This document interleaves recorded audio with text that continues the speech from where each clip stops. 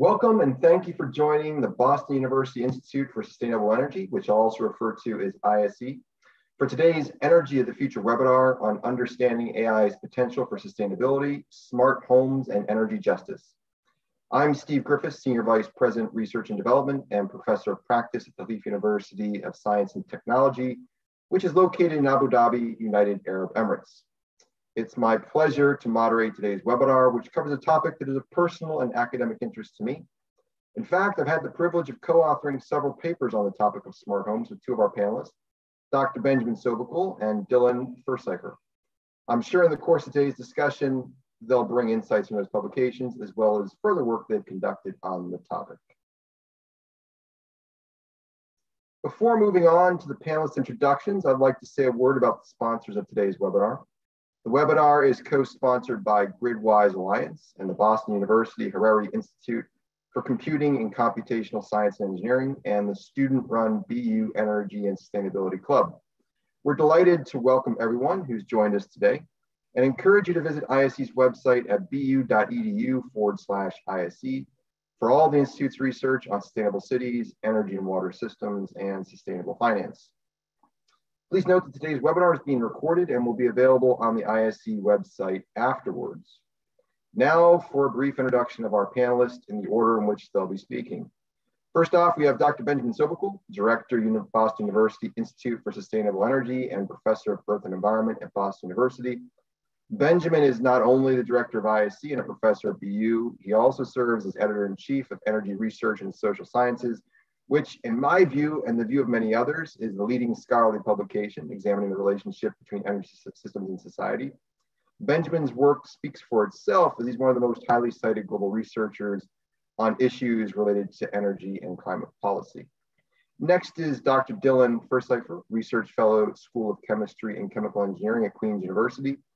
Dylan's prior PhD work examined technology adoption on household energy behaviors. Before beginning his PhD, Dylan worked at CFE, which is the state provider of electricity in Mexico, where he collaborated in developing and conducting research for the Sustainable Development Agenda. Finally, last but not least, we'll have Dr. Mari Martiskainen, Senior Research Fellow and Co-Director of Sussex Energy Group at the University of Sussex Business School. Mari is a social scientist with specific interest in sustainability transitions, especially in relation to the just transition to a net zero society. Her current research focuses on the intersections between fuel and transport poverty. Before we begin with the panelists' presentations, I'll offer just a few framing remarks on today's topics to get us going. Digitalization, which broadly speaking is the incorporation of computer-based technologies into everyday business and social activities, continues to shape the world around us. I'm sure many of you see the headlines every day about digital activities continuing to shape the world. Mobile technologies, robots, drones, augmented reality, virtual reality, artificial intelligence, blockchain, 3D printing, and related technologies are increasingly incorporated to our daily activities.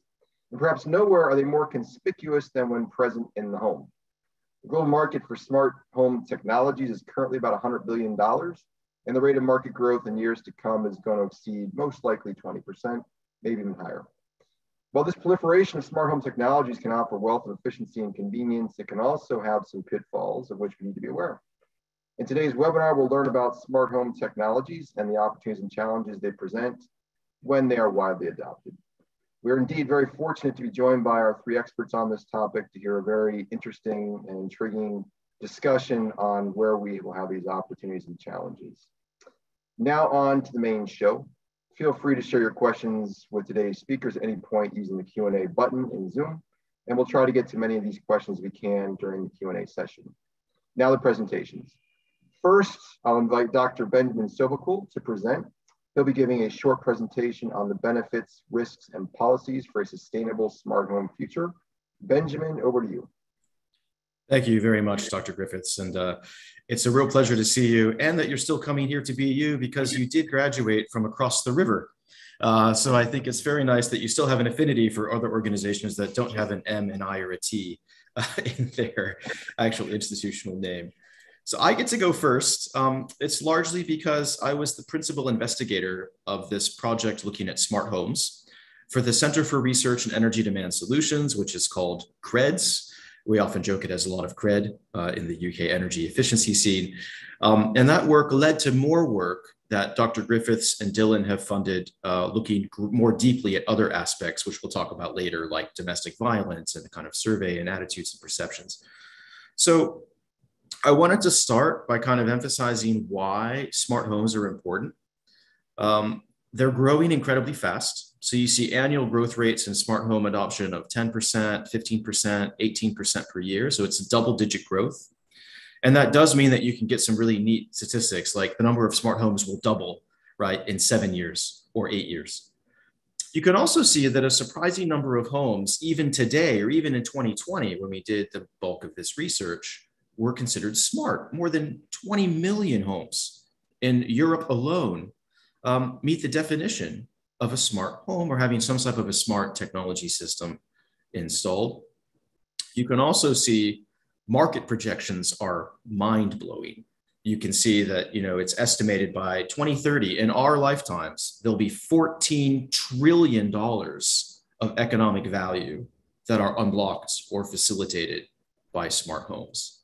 Um, and again, you can also see that you know future projections also indicate, especially in industrialized regions of the world like Europe, we could see 84 million homes that are smart by the end of this year. So it's kind of like the hidden household technological revolution.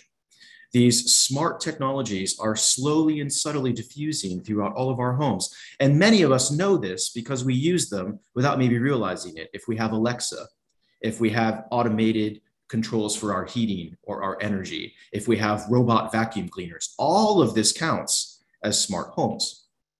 So to kind of grapple with the benefits and the risks and the policies needed for a smart home future, we conducted a research project, a mixed methods research project, where we began by doing interviews. So we did more than 30 interviews with kind of experts at key institutions like Apple or Microsoft or Google, uh, but also intergovernmental groups like the European Commission, national government ministries grappling with privacy issues, energy consumption issues, as well as NGOs and scholars at places like Imperial College uh, or at actually MIT.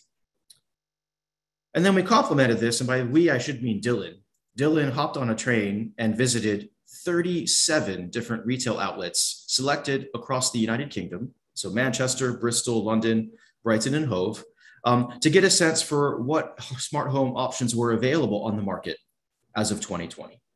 And also to facilitate a further round of interviews, because we would actually ask, he would ask a lot of the, the people on the retail salespersons for their opinions about smart technology. So this helps complement the expert views with the kind of retail and sales views, the intermediaries who are there to kind of vend and promote smart home technologies.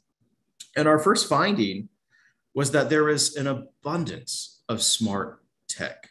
We had seen earlier studies done in like 2015 and 2017 that was like 67 different types or 100 different types. You know, we identified so many more 267 different smart home options and that's only in the uk and you can also see many of them deal with energy lighting gas integrated solutions. Many don't. Safety security drones robots clothing. The final thing i like about this slide is the diversity of companies and firms. And here you can see many familiar icons and many fortune 500 companies including some of the biggest in the world Amazon, Apple, Google, Bosch, Siemens, Sharp, Sony, etc. So the smart tech revolution is here. It's not something that's you know happening five or ten years from now. It is already requiring significant investment from many of the largest firms and technology providers in the world. Second finding is a bit odd, and that is even though you have this flurry of industry activity, not everyone agrees on what smart home technologies are. Uh, you do have a kind of this notion they're digitally connected. So they connect to the internet or they connect to some other type of Wi Fi or radio signal. You have a sense that they are automated. You have a sense that they allow remote control or enhanced control. And then you also have this notion that they enable learning. And we found that a lot of people think about them only in the first way, that they're digitally connected, and not in some of the other ways about automated processes and convenience, enhanced control, or the ability to learn your routines and predict your preference settings for temperature or lighting, or when you want to start your dinner, or ordering milk from the refrigerator when it's empty. And that leads me to this notion that there are different levels of smartness. It's not just your home is smart or not, or it's a dumb analog home or a smart high tech home. We actually found different tiers that help nuance this kind of spectrum of smartness. Level zero, the basic home, is like my home. I have no smart tech. We have a lot of people, though, who are at levels one and two. They might have uh, an advanced baby monitor, or maybe they have an, a kind of digital locking system, or maybe they have a smart meter. And then we have a few more that move up the kind of more automated or intuitive systems, especially the kind of high tech people, like I'm sure Bill Gates or Elon Musk probably have homes that are in this level. And then you finally have the kind of level five home, which is the Sentinel home, which is more like sci-fi. This is the home that speaks to you. This is the home that, that takes care of everything for you and is run with a high degree of, of kind of um, artificial intelligence. We then proposed a level six, which hasn't happened yet because you kind of need levels four and five to happen. Uh, but level six is where you kind of actually integrate smart homes into smart neighborhoods and then smart cities and then even smart states. Uh, so it helps you know interconnect smart homes in ways that could be even more fruitful at enabling convenience control or in the realm of climate and energy, better energy management systems. And that leads me to our third finding, which is there are a lot of benefits that you can attain from smart homes. It isn't just saving energy or enhancing control and convenience. You can see here, you also have so many more financial savings, grid benefits, feeling better about your life, uh, social benefits like meeting friends or feeling like you're part of a Tesla club or part of a Hive club or part of a different club, or even um, enhanced feelings of uh, safety and security, or people that just buy the smart tech to get the gifts, promotional gifts like better Wi Fi prices or a free mobile phone. That said, um, I wanted to explore three of those benefits that came out in our material more. The first was the fact that they could substantially reduce energy use. And if any of you have been reading the IPCC's latest report, they're predicting that by 2050, we need to see a 50 to 70% reduction of consumption. So, in this way, smart homes are one of the key levers we can use to achieve those substantial reductions in consumption. However, it's not just about saving energy, they also enable you to actually uh, be more convenient and live a more comfortable life. And they finally enable you to actually save money that you can then respend on other things that are more important, especially maybe food, uh, education, or maybe even uh, vacations and luxury amenities. Unfortunately, our fourth finding is that these nice benefits come with risks. And actually, you can see here there are more risks than benefits. And let's talk about the three that come up the most in our material.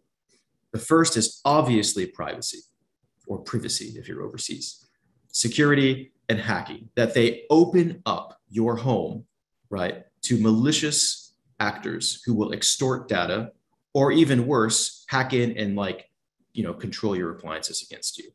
Um, I remember one of our interview respondents talked about how the smart toaster could be the soft underbelly by which criminal enterprises enter your home. It used to be that have to break in by breaking a window and going in the front door. Now they type a few keystrokes on a keyboard, access your smart toaster, and are in your home to kind of steal your financial data.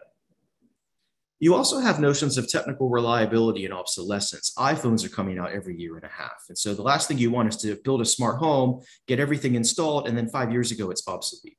It doesn't work. Um, and in fact, some of the tech companies may want it to be obsolete because you have to keep buying and refreshing there's also concerns about interoperability. If you buy smart tech from Apple, it won't work with Microsoft and vice versa. And finally, even though they're meant to be convenient and enhanced control, users don't always find it that way. Many of them actually have to learn how to live in a smart home. You have to learn how to set the settings. You have to read an instruction manual this thick to help you understand how your washing machine works. And anyone who's ever had to program a VCR back in the day may realize it's kind of that sort of learning. Like it's cool once you get there, but you have to build up the tacit knowledge in order to make your smart home function. Finally, and I'm almost done before I turn it over to Dylan, um, we did reach some policy recommendations. This was kind of ways to make smart transitions better governed. And I'm really pleased that Dr. Griffiths helped us with the article that we published here. Uh, and you can see that our recommendations do center on countering the risks. So those risks are not necessarily predetermined. They can be countered by different policy interventions, like better consumer protection, uh, better restrictions that ensure they're put to use for sustainability ends, and stronger regulations. And you can just see here our respondents are driving this home. We must have stronger privacy protections. We must make sure that we don't enable waste, and we must make sure that we enable better communication protocols and regulations as we move from discrete tech into more bundled interoperable systems. And with that, here's just a short kind of where you can find our research. You can see that beautifully, two articles are led by me, two are led by Dylan, and one was actually all three of us together in environmental research letters. So you can read there for more. And I'm delighted to pass it back to Dr. Griffiths. Thank you very much for your time. Thanks, Benjamin. I appreciate that. Um, my video is just kicking in here. So I'd just like to ask you one quick question before we move on to Dylan. It was a very interesting presentation uh, you talked a lot about standards and regulations, the importance of this. Are you seeing since the time that the work was done, new standards and regulations being developed in US, Europe, and is any particular region leading in smart home uh, relevant standards regulations? Great question. So we haven't been following smart home standards in detail, but we have been following some discrete standards. So the example here that I'll give, we were looking at specific standards for vehicle to grid communication. So this is part of a smart home because it enables cars, EVs, storage, and your home energy management system to talk to each other.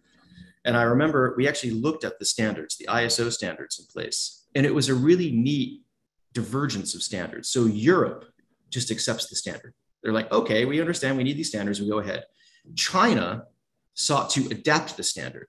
So they were kind of like, this is interesting, but we, it doesn't really fit our grid. So they kind of made it Chinese with Chinese characteristics. And the United States ignored the standard because they really wanted to kind of promote their own, basically their tech companies were in control of the FTC and they wanted to promote their own standards. And I suspect that's probably similar to where we are with smart home tech, the kind of American style corporations just kind of go ahead on their own. Standards are set internally, they're corporation by corporation. Europe is more collective. The European Commission, we have to have common GDPR protections. We have to have common standards for charging, energy use, energy labeling. And China's kind of like doing their own thing. Well, they'll like absorb these other standards and then output a more Chinese fit for what they're doing. So I think that's so none are lead, all three regions are leading in different ways. One is leading by communitarian approaches, one is leading with individualistic approaches, and one is leading with adaptive approaches. So I love about Benjamin. He always knows the cultural nuances behind things. I appreciate that answer, and that's why I like to work with him. I always learn something new from him every time he tells me uh, an answer to one of my questions, and they're always very good answers, by the way. uh, thank you, Benjamin. I appreciate that, and I'm sure there'll be more questions from the audience uh, in the Q and A session. Before we get back to you, though, we're going to go to next to Dr. Dylan Furszyfer, who will be giving a short presentation on the household conflict issue with regard to gender domestic violence and smart home adoption. Dylan, uh, please share your slides and over to you. Hello, everyone. It's very nice to meet you. Thanks for the introduction, Steve and Benjamin. As always, great presentation. Let me share my screen. And can you see everyone? Why is not? We can, Dylan. I see orange. awesome. so thanks again for having me and thanks so much for coming. Today I'm going to talk about household conflict, gender, and domestic violence in smart home adoption. So I'm going to start with what Benjamin already kind of mentioned. There are four key components to smart home technologies. However, I would like to divide this into two big themes. The first theme is related with accessibility. And basically this deals with being digitally connected and allow users remote control. The other big theme is related with data. Basically data will facilitate automation processes and will allow the smart home technologies their capabilities of learning. In these two kind of big themes, accessibility and data, you will see during the presentation that basically those two elements facilitate not only conflict within households, but also facilitate um, technology facilitated abuse. So in the second theme, data, I like to think about data as a reflection of our own history, a very personal history of decision making that looks into the future and basically can predict our needs and our preferences. Smart home technologies often fits into our history that in many cases are not compatible with other users' preferences or histories. So when the preferences and histories are not compatible within users, basically this leads to conflict. So to all this, what is conflict? From a very general perspective, conflict consists of a struggle between people with opposing beliefs, ideas, goals, or values. Conflict also denotes the incompatibility of subject positions. Within the smart home, within the human-computer interaction dimension, conflict is very broad as well. However, I would like to put this kind of conflicts into three big, big boxes. The first box is, in terms of conflict could happen when different users have different preferences. The second kind of big, big box is when multiple applications within one system concur over one resource. And the final kind of conflict that could happen is related with conflicting interest with one user. Basically, this is not this is not involving other users. This is the technology against one user in particular. And this happens when the user have some preferences and the applications of the technology does not kind of satisfies those preferences. In the most common theme, however, in terms of smart home technologies and conflict, it, it happens when two or more users access the same application but have different preferences. In our research, in addition to the expert interviews, visits to retail stores, and the lit review we conducted, we also roll out a national survey in the UK with over a thousand participants. And we also conducted three focus groups. And what we found is that conflict could happen, smart home technologies and conflict could happen with all the members of a household. So it could happen with roommates, it could happen with guests, it could happen with landlords, it could even happen with neighbors. I mean, there, there were some cases that the alarm system woke up the whole neighborhood, you know, so the, this kind of a conflict that it kind of disturbs not everyone in the, not only people in inside the household, but outside. We also found, for example, that the most common themes related with conflict within kind of this, with roommates was related with thermal comfort and also with ambient illumination. And this kind of leads back to what I was telling you about data. So for example, when you install a smart heating system, you kind of provide your preferences at what time you get home, at what time you turn on the heating. So the technology really get to know you very well. So knows your routines, know your preferences, know when you're cold, knows everything about you. However, when a new roommate comes into the house, the technology need to learn these new preferences, these new behaviors. And it takes times. It takes times basically. And this time may, during this time, there might be some space to conflict. We kind of realize that the best way to deal with this conflict is not the technology to fix the conflict itself, but instead because it will take longer. So to expedite the process, it's better to reach a verbal agreement within people because this will kind of facilitate this whole transition. Other issues, as I was telling you, is related with illumination and ambient illumination. Some people like brighter spaces, some people, some other people like darker spaces the illumination can connect to your TV, and at certain times you watch so, some TV shows and the other people might not. So, you know, it creates an atmosphere that might not be compatible to the rest of the householders. The other kind of conflict that we identified is in a more kind of nuclear kind of household, to say it in a way. And it entails conflict with siblings, um, parents and children, and even within couples. What we found, however, in our research is that most of these conflicts emerge from invasion of privacy and also due to monitoring practices. And it is in fact within these kind of two dimensions of invasion of privacy and monitoring practices where the links between technology and domestic violence are the most evident. So basically, with the use of smartphones and the becoming, becoming more widespread, technology facilitated abuse has become a prevalent issue. This is all technology facilitated abuse is also known as tech abuse. Tech abuse encompasses the ways in which technologies can be exploited to harass or control individuals. These include unwanted sexual attention, image-based violence, emotional manipulation, or, or of, of and coercion. Um, with the rapid growth and adoption of technologies, perpetrators of domestic violence have found new and innovative ways to control and manipulate people. And this takes particular importance when looking at the dynamics of power in intimate relationships. Perhaps the most evident way in which technology and domestic violence kind of concur is when looking at cyber stalking. Cyber stalking involves the use of digitally connected devices to participate in a pattern of repeated behavior that causes the victims to feel fear from their own safety. Cyber abuse involves the use of smart cameras, smart speakers, GPS devices, smart watches, um, spywares to monitor the victim's activity, basically everything you can do, all applications you can use to, to perpetrate cyber stalking conducts.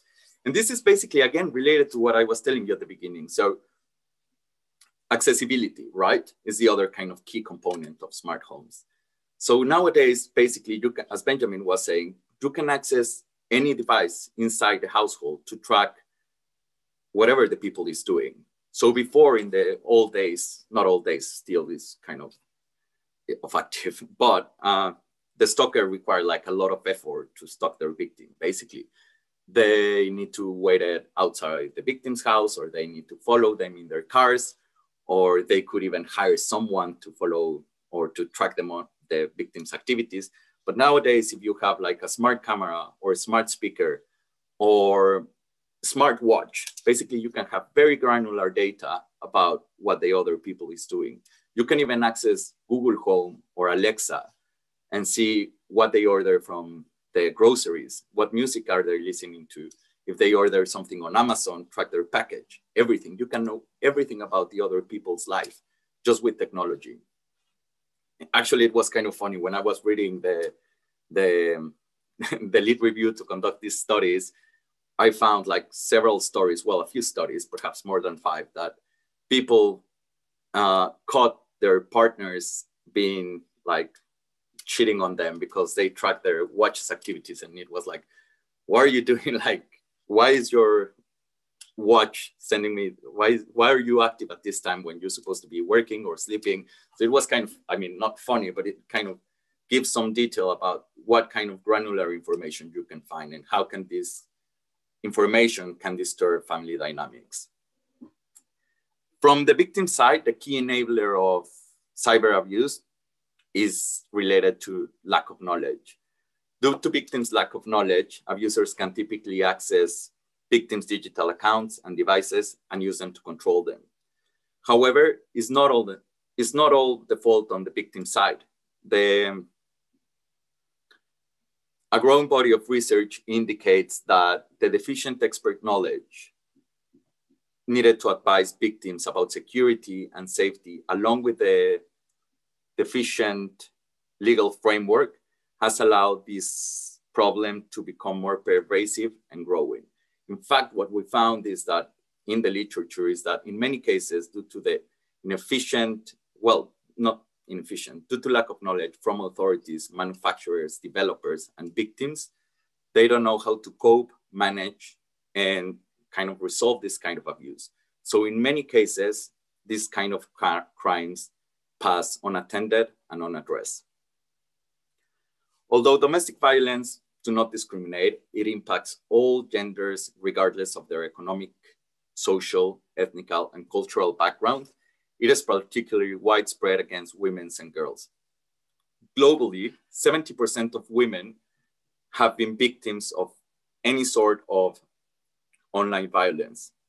In England and Wales, from the 2 million cases reported of domestic violence in 2018, 48% of them included some sort of technology facilitated abuse. From these 48%, the vast majority of victims were women.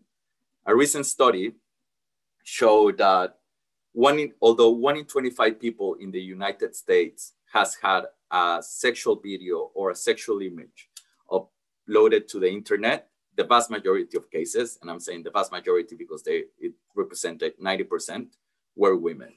What I'm saying here is not that males will not suffer from this kind of abuse. In the literature, we found many cases that males suffer from cyber stalking, revenge porn, online harassment, all sorts of abuse. However, what we identified is that women were more likely or more prone to be victims of domestic by of technology facilitated abuse. Um, and this is perhaps, I mean, the link between knowledge and lack of participation in the digital arena. It is perhaps why domestic violence is so linked to, to gender. So the gender divide in digitalization is also closely linked to the relatively small number of women participating in science, technology, engineering, and mathematics science. Globally, they account for around 30%. The absence of women in the technology world is not only limited to the academic enrollment, but also lack of opportunities to participate in the workforce. For example, the number of women on boards of technology companies is below 20%, and only 16% of IT managers are women. This unequitable distribution could entail other social costs. For instance, lack of access to crucial, transparent, and current information, as well as lack of opportunities for distance learning and teleworking. These kind of two aspects, teleworking and, and distance learning, were more evident during the pandemic, and particularly in rural communities in developing countries. And I think I'm running out of time, so I'll jump into the conclusions. I think that we need a more sophisticated understanding of how these technologies operate in the real world. Perhaps um, manufacturers and developers had one idea in mind of how these technologies could be used, However, users domesticate these technologies to use it, them in a very kind of creative and sinister ways. So we need to understand how these technologies will operate better in the real world. I think that further research should focus on developing regulatory frameworks addressing consumers' protection. This is not only related with data ownership, but I, truly believe that we need to enhance the legal framework addressing technology facilitated abuse and kind of build and enhance knowledge from all kind of parties involved in that arena. And smart home technologies do not exist in a vacuum. Our results show that knowledge, preferences, and perceptions remain mediated by, by gender as well as opportunities for abuse and violence. And that's it from me. Thank you very much. Ah, and before that, like Benjamin, here are a list of publications that maybe you can find interesting. Uh, all of them are with, with my panelists. So that's pretty cool. I'm very happy to be working with them for some years now. So thanks a lot. Thanks, Dylan. That was a very good presentation. I have one question for you that I was thinking as you uh, were concluding. Have you seen any policies or programs that are starting to bridge this gender technology divide? What's the progress in this area?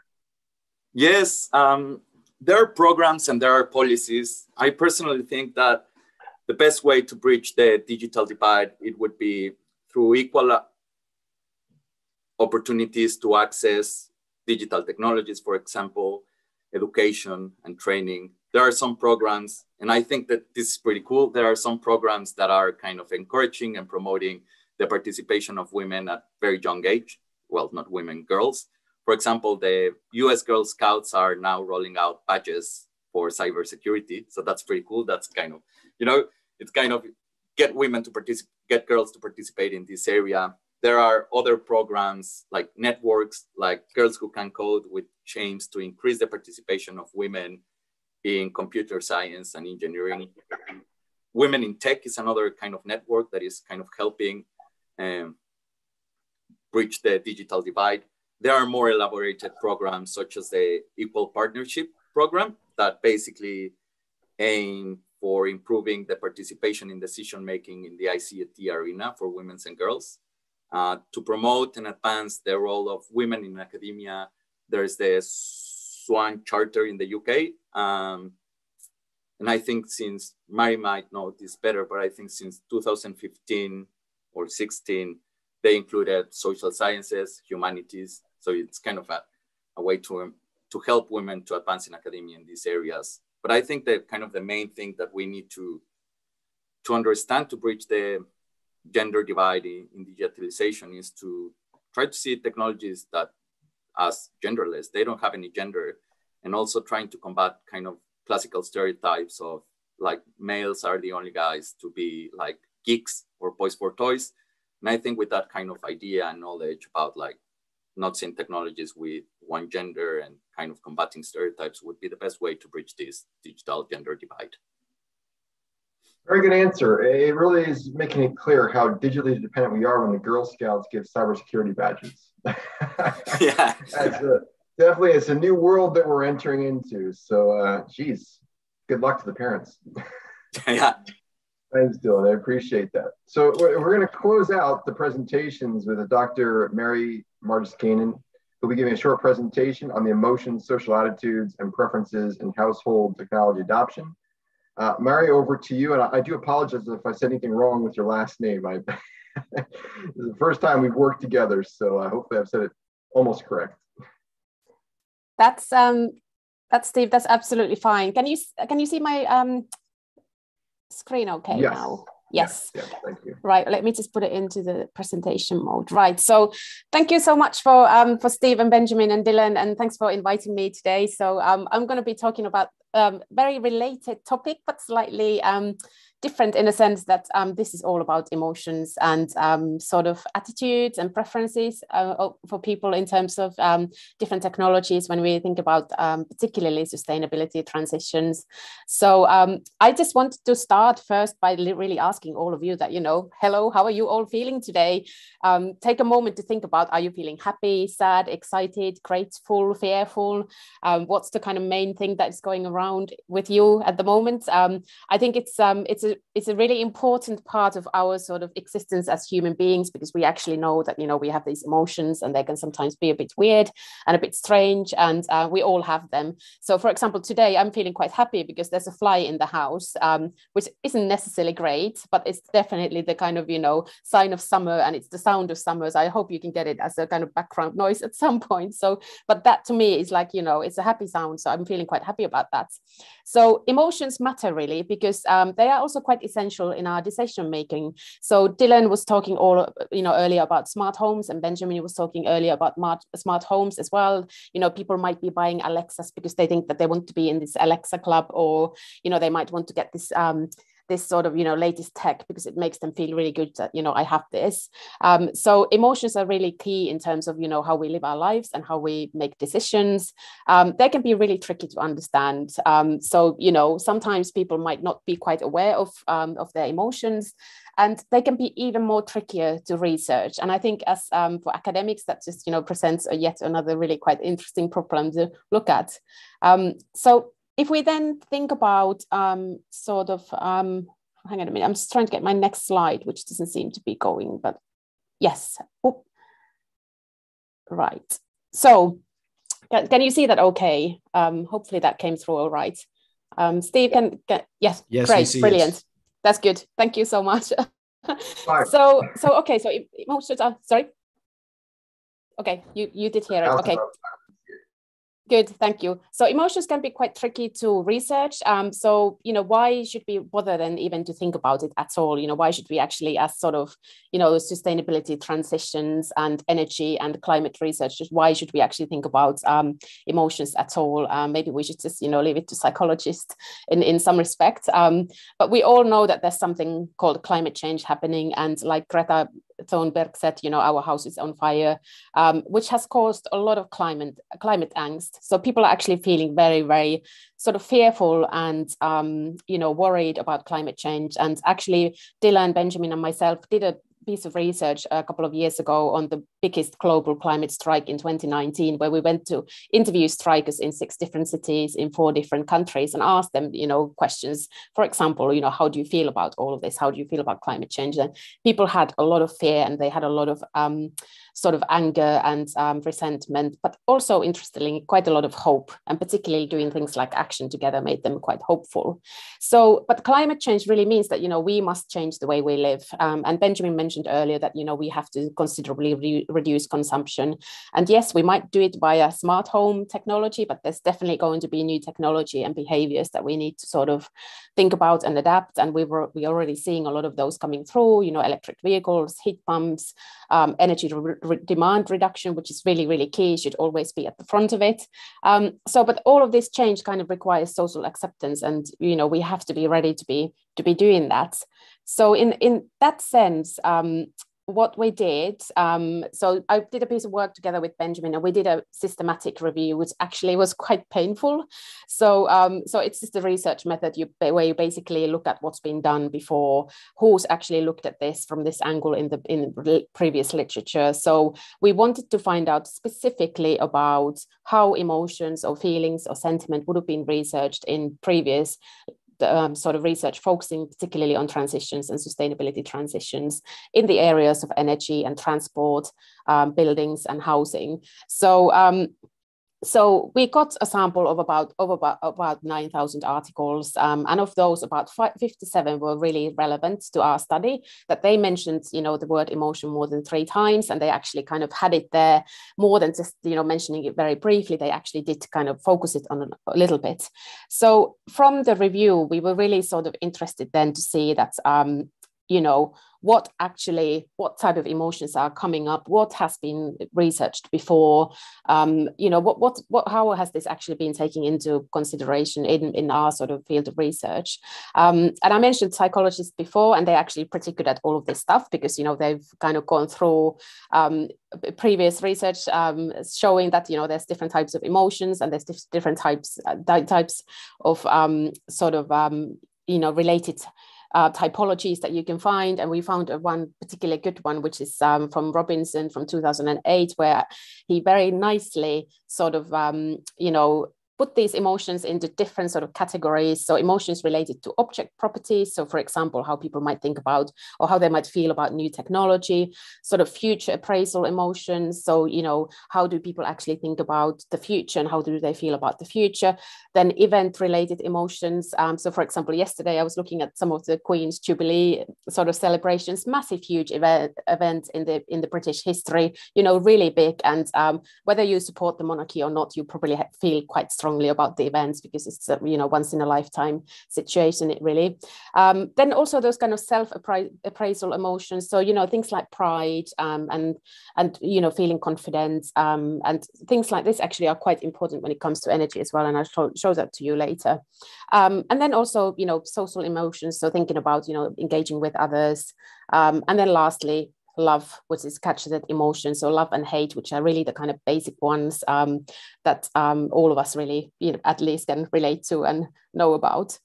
So we did a review and we found surprisingly quite mixed feelings about, you know, what's been done in previous research. And um, and there are sort of, it's really interesting because energy technology is kind of raise both positive and negative emotions in people.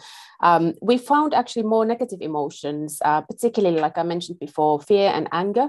And this was also the same for energy technology. So people, for example, might fear nuclear power. They might be angry about the fact that, for example, a wind farm is going up in their back garden or near their, where they live. So, you know, really strong sort of um, emotions. And it's quite interesting to think about that in the end of the day, some of the energy technologies, um, we don't actually see in our own homes that, you know, we just get the electricity from the from the plug, but we might feel very strongly about the site where that electricity is being generated, particularly if it's a, you know, a polluting site, for example. So, um, but then also, you know, a lot of desire and gratitude and pride. So, for example, desire for um, having, for example, electricity access. You know, if you live in a in a country where energy access is not that great, um, having electricity actually can really improve your quality of life. So, having that desire to actually have a better life to be helped um, with, um, for example, poverty re reduction could actually have a really sort of motivating factor for, for some projects, for example. Um, so, and it's, it was quite interesting because on one hand, people might desire and fear energy technologies. And this is particularly, I think, for the new sort of things that we are coming, um, you know, we are seeing, and Dylan there really nicely, you know, mentioned about smart home technologies that, you know, on one hand, they might make our lives really, really um, simple. I don't actually have any smart home tech in my house, which was built in 1860. So it's a totally dumb old house. Um, but, you know, sometimes I think maybe I should get a smart meter, but I still even don't have that. Um, so there is that kind of desire for the new technologies, but then also fear. So um, you know, cyber stalking and all of these things is actually it is quite quite fear fear um, provoking me feeling for a lot of people.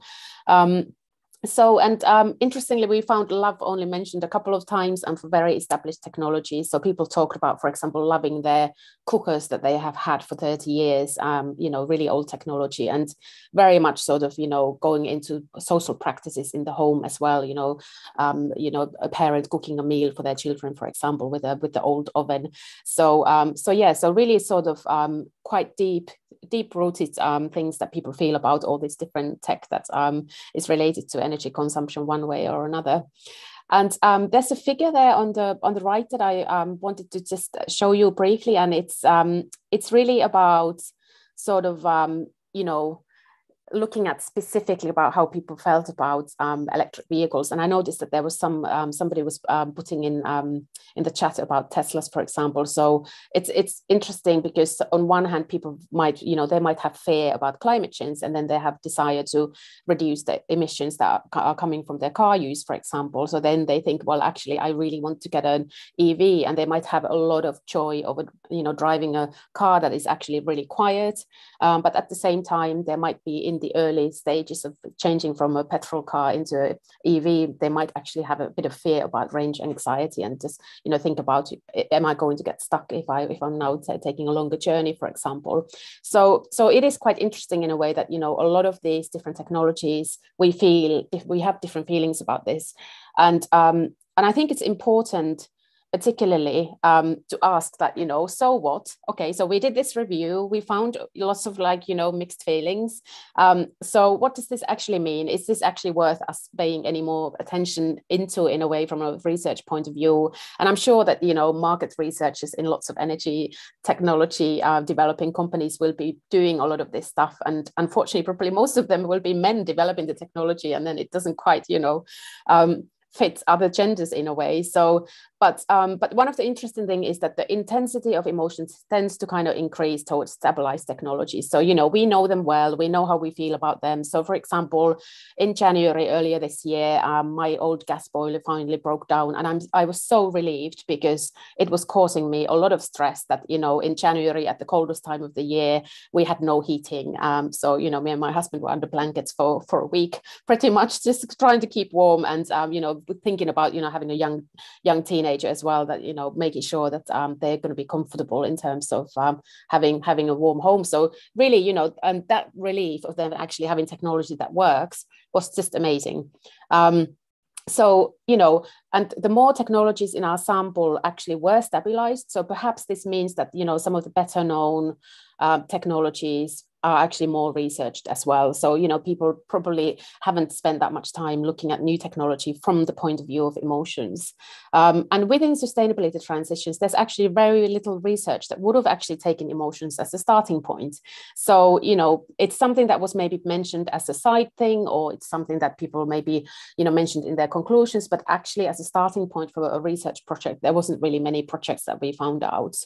Um, and I do think that we need to find out and understand a lot more about how people feel about new technologies and their adoption. I mentioned, you know, electric vehicles there. Heat pumps is another one. For example, now in the UK, it's a massive sort of um, issue in the media and um, in public sort of debates about moving over from gas boilers to heat pumps and people might worry about performance you know what kind of building do i have to be living in? So you know people tend to have concerns about new technology. Um, same with you know solar pv people might think about you know intermittency uh, what happens when the sun doesn't shine and all these sort of concerns but also excitement about new new things. Um, and i think particularly you know for early adopters it would be really interesting to look at you know what is the difference between those who are early adopters and those who kind of adopt later. That are the early adopters like you know the really excitable people who just think that actually this is fantastic. I'm just going to try it because i'm so excited about it and i just desire this technology and i want to try it out. Um, so so that's kind of i think um, would be one one sort of interesting piece of research to be done in within the kind of energy transition context. Um, and one of the most sort of um, interesting one I, think also is that you know will people actually be happy to give up all their polluting technology that they love? And one of the things um, i am originally from finland. I've been in the, living in the uk for a very long time. And in finland for example fireplaces and burning wood has a massive cultural connotation. It's loved you know the forestry um, industry is huge. Forests are loved and you know burning wood and having a fireplace it's just like people love them so, but what about particles? What about pollution? And we now know a lot more about air pollution, for example, that fireplaces, particularly burning wood, is not great. So, what will people do? It's very different to sit around a heat pump, potentially maybe just a box on the wall, than a really nice glowing fire. So, you know, there are some of these things that we need to think about that, you know, what will people do? Um, will they happily give up some of their sort of you know loved technologies for example? And big cars in the us for example very very relevant isn't it? Um, um, and also you know i mentioned boilers in the uk so so yeah so just something something to think about. Um, and just lastly to say that you know sustainability transitions require new ways of living um, and i think it's really important to know how we feel about that and as a researcher i would always think that you know would be really great to do some more research in this area so i'll leave it at that and um, look forward to taking your questions Thanks, Maria. I really appreciate that. Very interesting topic. I have a question for you before we get into the Q&A with all the panelists from your your your views of the of the attitudes and emotions over the past couple years regarding sustainability transitions, have you seen a change since the focus on climate change and sustainability has been increasingly prominent in the media and the in the, in the dialogue? Is this an evolving uh, way in which people are perceiving the world and, and, and affecting the way you're seeing the research outcomes? Um, I think there probably is a change. I think people are a lot more aware, and people have, like I mentioned before, you know, there's a lot of climate change anxiety. There's a lot of angst about that. I do think that, um, you know, awareness about us needing to change the way we live is really really high but at the same time people are still doing a lot of those behaviors and a lot of that kind of high consumption that is leading to that and they haven't really been giving up on certain things and now we tend to be focusing that okay cars for instance are polluting so we are just talking about people moving into electric vehicles rather than thinking well can we reduce travel and our need for cars in the first place? Can we actually start by reducing consumption rather than say, well, here's a new clean tech that will still require materials and energy to be built and to be manufactured that you know let's just swap it to that one. So i do think that there's still a massive sort of debate that we have to have to make people realize actually we have to reduce consumption first and we have to reduce energy consumption first that we can't just swap one technology into another technology. You know that's just not going to be sustainable in the long run. Um, so so yeah but let's see. I have hope. Very good. It's good to be hopeful so now we're going to move into the q&a uh, session with our presenters i'll ask uh, dylan and benjamin to turn their cameras on and stay muted while uh, others are speaking but otherwise when your um, time to come to speak please go ahead and unmute I'd like to remind the audience that you can submit your questions through the webinar Q&A function and I will get to as many as possible. We have several questions here that I think are of interest. Uh, one question I'm gonna, I, I, have alerted Benjamin to a question I'm gonna ask, but before I get to that one, I have one question that maybe all the panelists could um, give their perspective on because it intrigued me as I looked at some of the questions I heard you talk. The definition of smart home. I've seen people in the chat, they've said that you know they have an Alexa speaker or they have some type of technology and they didn't realize they had a smart home until they heard the discussion is the definition of home is the boundary changing the more we see that we have homes and vehicles that are smart we have wearable technologies that were you know we have apple watches and we have Oura rings and health tech is coming in. Is where what is the definition? Is it's expanding? Is the, is a smart home what is it? Does it include your car? It's just just trying to get a boundary. I, anybody would like to take that as a as a first question? Sure, Steve, I, I will. Um, partially. So, two reactions. The first is that um, when we did ask, we did the survey and we asked respondents how many smart home technologies they have. Actually, most people had some. So that already implies that um, a few had none, a few had one, one person put 500. and then the oh, rest were like, yeah, the rest were always between like, you know, 15, 10, 15, but it does imply that people are adopting them. But more to your point, we came across a great article that tried to conceptualize what a home is and notions of the home. And it was by this person called Kirsten Gram-Hanssen and Sarah Darby, both very good social scientists. It's called Home is Where the Smart Is, as opposed to Home is Where the Heart Is. And they talked about how there are actually four notions of home uh, and that they intersect. So the first one is it's a place for security and control. So it's a place where it's like king of the castle, you can be safe. The second is it's a hidden place for private activity. So it's a place where you rest, it's a place where you're intimate with your partner, it's a place where you don't have to act like you do in professional places.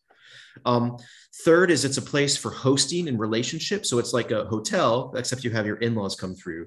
And then finally, the fourth notion of a home was that it's um, an expression of your identity and values. So rich home, poor home, big home, small home. You have a garden, landscaping. So it, you know you can just tell the home is like another. It's like your clothes. And I like that all four of those different notions of home lead to different applications of smart home tech, as well as competing notions of what a home is. And what Gram-Hanssen and Darby conclude is that the home is all four things at once. And that makes it incredibly complex to regulate. Because if you think a home is only one of those four, people are still operating on the other logics that can countermand what you're trying to do. That's a very complete answer. I don't know, Dylan or Murray, would you like to add to that, or would you, Michelle, move on to the next question? All right, Benjamin, I'm going to come to a question that is somewhat academic, but I think it'll be insightful if you can give us the response to it. The first question was asked, and you've probably seen it in the chat. It was regarding uh, whether or not you've done a stratified analysis for affordable housing and the prevalence of smart tech and perception of the benefits and risks that are likely differential, but help, could help prioritize policies and standards with an equity lens. Would you like to take that one? Great question. A very easy answer, which is no. The research was mostly qualitative, so the interviews and all that. And we were actually, I mean, the the interviews, the first phase anyway, what didn't even involve homeowners. The first phase was expert interviews and retailers. For the survey, we did have a nationally representative sample of homes of about a thousand, but it was not representative in terms of income. They could only guarantee us representativeness for gender, household size, and location. And I remember in particular, we were excluded from doing social housing blocks, which are basically like poor homes because of, of, of the data provider and ethics reasons. So it's even worse. It's like our sample was stratified the other way towards wealthy homeowners or middle class homeowners. I think that a stratified sample among low income households would be fantastic to do. Um, we didn't do it in this project. So Benjamin, you've done a lot of research. It looks like you have one more thing to do now. I thought Benjamin had done it all. That's, that's so someone out there really is. They got you, man. well, Dylan. I mean, Patricia's comment is apt, and uh, but Dylan has done qualitative research with vulnerable groups, and so there he's actually worked with three very low income communities to learn about their experiences with energy and mobility. Although it's not smart tech, but Dylan, do you want to just spend maybe a minute telling about the three communities you've worked with, and did you see any smart tech in those communities? No, definitely. That that's something that it t- didn't go through. Like, actually, what I was telling you, for example, in terms of opportunity and teleworking and distance learning, actually, what we found is that at least in rural community, well, not rural, but in the outskirts of Mexico City, like most girls and kind of adolescents didn't go to class because they didn't have any technologies to access the internet. And in their homes, how many homes did we visit? Perhaps more than 130 homes in total in three locations or around so. I couldn't find any smart device, not uh, Amazon Alexa, uh, any kind of tech device that we could identify as smart home. We I didn't find any. Um, so yeah, no, it's it's completely marginalized, and I think that kind of this goes back to the digital kind of divide, but in terms of poor or low income families against the more kind of well off, you can see the stats 46% of the worldwide population does, doesn't have access to the internet yet. So we're kind of lagging there. Very good, Dylan. And I'm, I'm sorry to jump in, Steve. I, I know the panelists so well. Mari is also leading a project on fuel and mobility poverty. And so, Mari, I know you've also done household interviews. Anything to say here about smart tech and income disparities and equity? Yeah, I mean, a few people that we interviewed had um, had smart meters, for, in, for instance, and um, and they were sort of um, you know quite quite happy with them but unfortunately it tends to be at least in the uk so we we are doing a study looking at um, energy and transport poverty across the uk in all four nations um, northern ireland wales scotland and england and unfortunately in the uk we have prepayment meters and a lot of the time people who are on a low income who don't necessarily have a good credit rating, for example, they have a prepayment meter where you feed the meter all the time. Um, and that is not smart tech at all. It's actually quite crude technology because, you know, um, and it's also very very um, unfortunate because you can be in the middle of having a shower and your meter runs out and you know so and it causes people a lot of stress as well when when you have to constantly think about how you kind of you know feeding the meter as we as we say here. Um, so but not much smart technology um, in in that sense really. So yeah. Thanks well, based on what you said about the adoption of smart technology, I'm going to come to one of the questions, which maybe be an extension of this conversation. Question was, uh, what's the cost effectiveness of cost effectiveness of, of smart technology? It sounds like not everyone's uptaking smart tech. So are they cost effective or just convenient? Uh, any responses to that? I think it's great that Mari's work shows that it's sometimes about emotion. So it's not even about rational calculation. It's about how they make you feel, you know, including like the high tech adopter who gets it to impress his girlfriend, right? Or something like that. It has nothing to do with cost. So there are other logics, you know, convenience, control, conspicuous consumption. Um, I've seen some good work about the cost benefit analysis of the smart meter program. So that's a kind of subset of smart tech. It's one type. And there I know that the energy ministry there is called BEIS, Business Energy Industrial Strategy they have projected there is a net cost savings as you roll out smart meters, but most of them aren't among the households most of those savings are actually to energy suppliers or network operators, like two thirds. So that implies there are net social benefits, but it's not actually accruing at the level of households who are only saving one to 3% of their energy. And there are some households that have negative cost returns if their smart meter fails, or they don't use it, or they have rebounds in consumption. And I think that kind of goes back into the notion of, of the different logics. Under some logics and those who are sustainable, there will be dividends socially, environmentally financially. But for other homes who don't give a damn about that, there will not be. And it's telling in one of our other studies that we did, we found that once people adopt solar energy, they actually have up to a 30% rebound in increased consumption because they feel better. So, because they bought solar energy, they buy a tumble dryer, they buy an EV, they buy a vacation. So, you have direct energy rebounds and you have indirect as well because they save money from solar and then spend that money on a trip to Fiji. So the kind of moral licensing aspect, as well as the direct energy rebounds, really do unpack the complexity here. And this is why, under some configurations, smart home technologies are bad for the climate. They're bad for households because they contribute to excessive spending and waste. Can I, add to, can I add to that a little bit? If you think about, for example, how Facebook started, and now thinking about how much money they are making from data.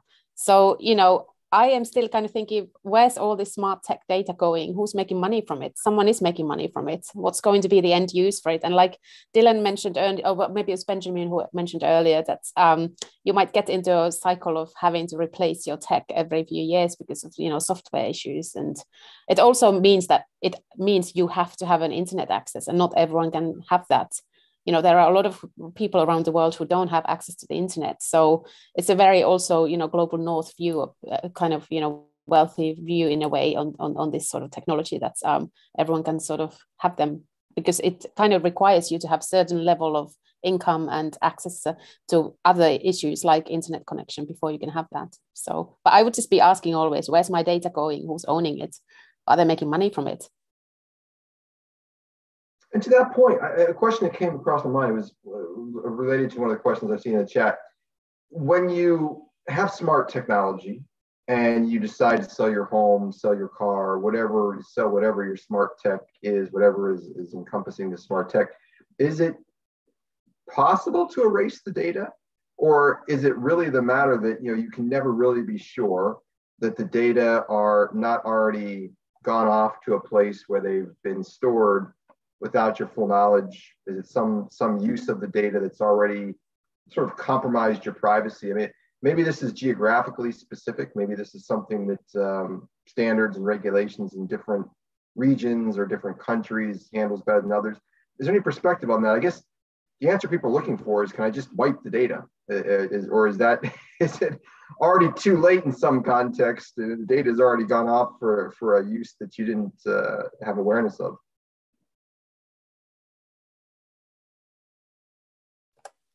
I, I think, yeah, I think what kind of splitting this question into two answers. What we found also is that people see value in having like smart home tech built in their homes so they can see that the value of the home may increase if they are kind of built for smart home tech. So that's kind of a perception that we found in the focus groups. And also, I think most of the technologies by default, they are able to be like rebooted or reset. So I think that's kind of ingrained within the technology. However, the data that you already kind of gave away, it's flying somewhere and you don't own that data. Basically, that's kind of one of the policies that we're trying to kind of encourage is data ownership because once you give away the data, then it's somewhere else. It belongs to someone else. And this kind of links back to the meaning of home as well. Like now you can see like big companies are entering your home where it used to be a very private setting. Now you can see like Google sitting in, next to your bed or in the entrance of your home. And that's a way of colonizing homes. And I think that's kind of changing what the home really is. But the data, yeah, I think you can reset everything and then it should be good to go. Dylan, I want to stay with you there's a question, it's, it's kind of interesting. Uh, someone asked, can we design the smart home to detect and report domestic violence? So could you essentially have the automated uh, AI-based 911? Is, have you seen anything, any attempt? I have some thoughts on that myself, but maybe yes. you want to give your thoughts on that. I think that, for instance, Alexa reacts to certain commands. So if you say help to Alexa, it might actually if you program Alexa to do that, it, I think it could call directly to 911. There are other technologies that I found pretty cool, like the smart, the, the dress for respect. Basically, it's a dress that can sense how much pressure is put into the dress. So if a person is being kind of violent, uh, like someone is being like abused, the dress could sense that and will send a signal to your contacts and the police. There are also like underwear that if it's removed violently, it could also send a text to your contacts, your closest contacts, and you can program that kind of underwear to send a message to the police.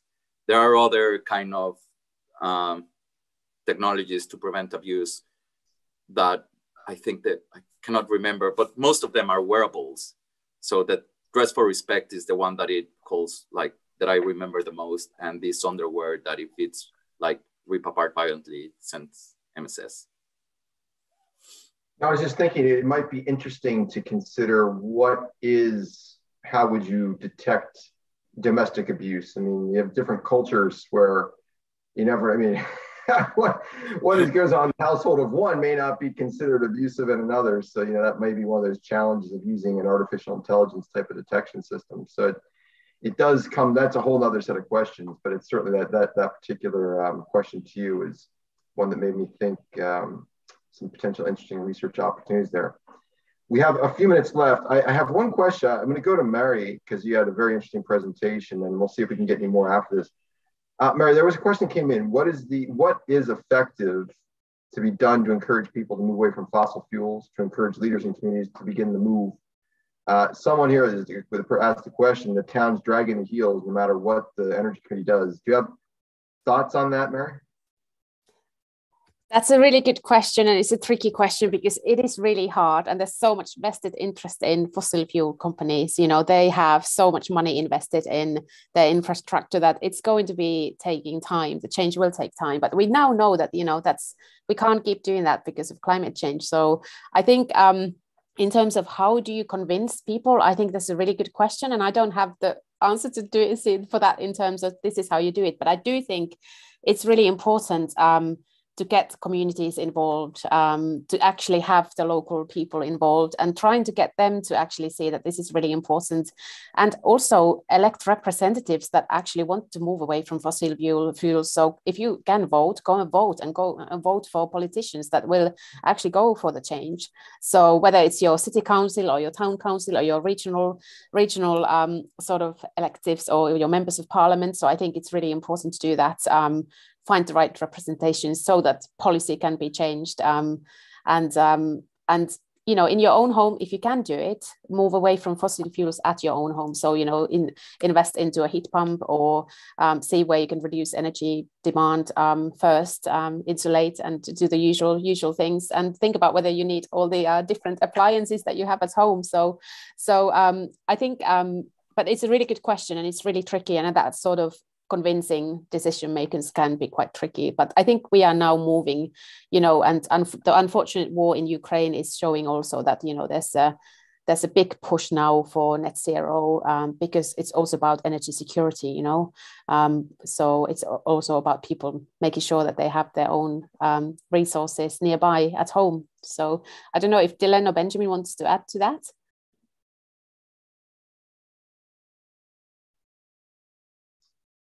Very good response. And unfortunately, with that, I see that we're coming up against the end of the session. We probably just have about a minute left, although I think we could go on for quite some time. There were a few other questions. I apologize those whose questions I may not have gotten to. Um, definitely an interesting dialogue today. Uh, I'd like to thank everyone in the audience for joining us today and providing these very thought-provoking questions for the panelists. And of course, many thanks to the panelists. You've done an excellent job with your participation, so I really appreciate that. I thank again the sponsors, the Gridwise Alliance, our BU partners at the Hariri Institute and the Energy and Sustainability Club. Thank you very much for the support for this event. Uh, and this brings us to a close of the ISE Energy the Future webinar series this spring that was focused on AI and sustainability. You will find all of the recordings at bu.edu forward slash ISE forward slash spring 22.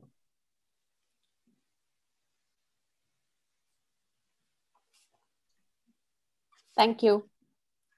Thanks a lot. Fantastic Steve, job, everybody. Yeah. See you, everyone. Have a have a great afternoon. Thank, Thank you, you, Steve. Thank Thanks, you very much. Bye. Take care. Bye-bye. Bye. Bye-bye.